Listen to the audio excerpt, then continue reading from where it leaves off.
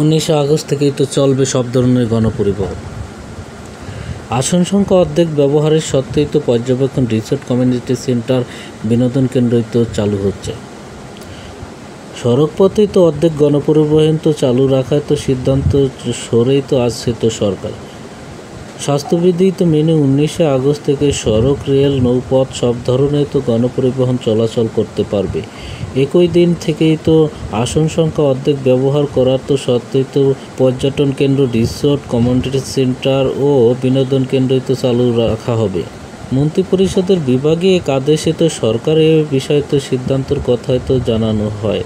ফলে তো মহামারী তো করোনা সংক্রমণ ছড়িয়ে পড়ায় তো নিয়ম বেশ কিছুদিন ধরেই তো বিধিনিষেধ আরোই তো প্রায় তো থাকছে না। অবশ্যই তো পূর্ব ঘোষিত অনুযায়ী তো শিক্ষা প্রতিষ্ঠান আপাততই তো বন্ধ থাকছে।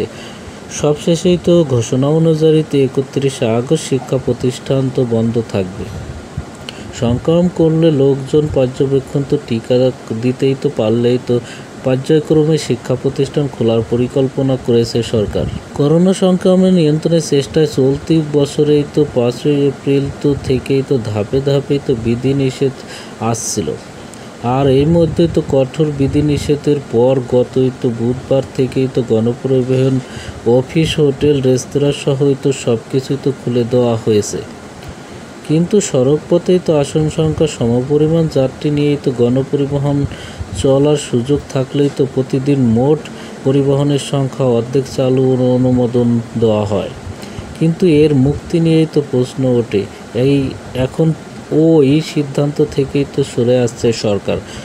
নতুন আদেশ আরও তো বলা হয় যে সব ক্ষেত্রেই তো মাস্ক পরায় তো স্বাস্থ্য অধিদপ্তরের স্বাস্থ্যবিধি যথাযথভাবেই তো অনুসরণ করতে হবে।